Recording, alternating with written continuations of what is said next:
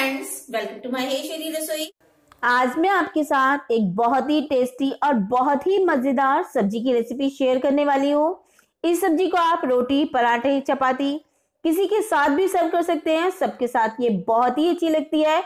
अगर आप एक बार ये सब्ज़ी बना लेंगे तो आप बार बार इस सब्ज़ी को ज़रूर बनाना चाहेंगे क्योंकि ये सब्ज़ी है ही इतनी टेस्टी रेसिपी अगर आपको अच्छी लगी तो प्लीज़ लाइक करें फ्रेंड और फैमिली के साथ शेयर करें। और अगर मेरे चैनल पर नए हैं तो मेरे चैनल को सब्सक्राइब करें, साथ ही बेल आइकन को प्रेस करना बिल्कुल ना भूलें, जिससे आने वाली वीडियो का नोटिफिकेशन आपको समय पर मिल जाए। और प्लीज़ मेरे वीडियो को लाइक ज़रूर करें। आप लोगों की लाइक मेरे लिए बहुत ज़्यादा मायने रखते हैं और मुझे आगे वीडियो बनाने के लिए इंस्पायर करते हैं। पालक आलू की बहुत ही टेस्टी और बहुत मज़ेदार सब्ज़ी बनाने के लिए मैंने लिया है ये पालक की प्यूरी और ये आधी किलो पालक था, जिसको मैंने अच्छे से डंठल और घास बीन कर उसकी ब्लांच किया और उसके बाद उसकी प्यूरी बना ली। आधा कप हरी मटर के दाने, दो मीडियम साइज़ के आलू, जिन्हें हल्का सा बॉईल करके और मैंने डीप फ्राई कर लिया है। इससे सब्ज़ी का टेस्ट बहुत ही अच्छा हो जाता है। दो मीडियम साइज़ के प्याज, जिसे मैंने क्रश किया हुआ है। दो टमाटर की प्यूरी, दस बारह काजू दो टेबल स्पून देसी घी। पालक की सब्ज़ी का टेस्ट देसी घी से ज़्यादा अच्छा आता है। थोड़े से लिए हैं खड़े मसाले, जिसमें मैंने पाँच छह काली मिर्च और चार पाँच लौंग ली है। दस बारह कलियाँ लहसुन की, जिन्हें क्रश किया हुआ है। नमक टेस्ट के हिसाब से। एक टीस्पून लाल मिर्चें, क्योंकि हम इसमें गरम मसाला भी डालेंगे और थोड़े से होल मसाले भी हैं। एक टीस्पून जीरा, एक टेबल स्पून धनिया पाउडर, आधा टीस्पून अमचूर पाउडर आधा टीस्पून गरम मसाला और दो टेबल स्पून यूज़ करेंगे फ्रेश मलाई। बिना पनीर के ही पालक आलू की ये बहुत टेस्टी सब्ज़ी बनाना अब शुरू करते हैं। सबसे पहले गैस ऑन करेंगे, उसके ऊपर एक पैन रख देंगे। और पैन के अंदर हमने ये जो देसी घी लिया था, ये डाल देंगे। जैसे घी अच्छे से गर्म होता है, उसके अंदर हम ये जीरा डाल देंगे। और जैसे ही जीरा ट्रैकल करता है, उसके अंदर ये खड़े मसाले डाल देंगे।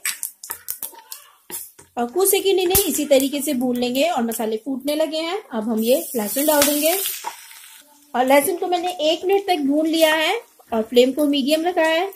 बस, इसके बाद हम ये काजू डाल देंगे, जिससे काजू हल्का सा फ्राई हो जाएगा और सब्ज़ी में ज़्यादा टेस्टी लगेगा। और काजू के फ्राई होते ही हम उसके अंदर ये कटा हुआ प्याज डाल देंगे। और जैसे ही प्याज अच्छे से फ्राई होता है उसके अंदर हम ये टमाटर डाल देंगे। और टमाटर को डाले हुए मुझे करीब एक मिनट हो चुका है, अब हम इसमें नमक डाल देंगे। लाल मिर्ची डाल देंगे, धनिया पाउडर, और हम सब्ज़ी में हल्दी का यूज़ नहीं करेंगे। हम इसे बिना हल्दी के बनाएँगे, क्योंकि हल्दी डालने से पालक का कलर थोड़ा सा चेंज हो जाता है। गरम मसाला डाल देंगे।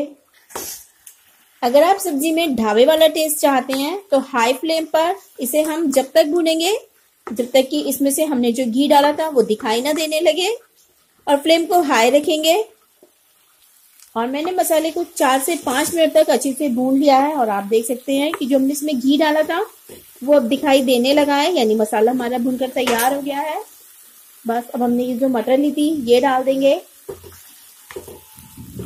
मटर को मैंने पहले से ही उबाल के रखा है, इसलिए हमारी सब्ज़ी बहुत ही झटपट बनकर तैयार हो जाएगी। आलू भी फ्राई हुए हुए हैं। दोनों को मिक्स कर देंगे। और इसी समय हम इसमें ये फ्रेश मलाई डाल देंगे।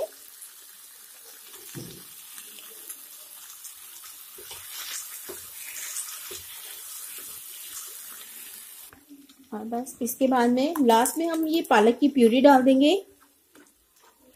और अच्छा से उबाल आने देंगे। ये अमचूर पाउडर भी डाल देंगे। और अच्छे से मिक्स कर देंगे। पालक की सब्ज़ी को हम बहुत ज़्यादा नहीं उबालेंगे। ज़्यादा उबालने से पालक का रंग खराब हो जाता है।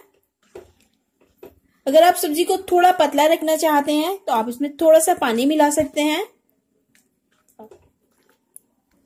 और इसमें से बहुत अच्छी खुशबू आ रही है और आप इसका टेक्सचर भी देख सकते हैं कि कितना अच्छा है। और बहुत ही टेस्टी हमारी ये सब्ज़ी तैयार हो गई है। अब गैस का फ्लेम ऑफ़ कर देंगे।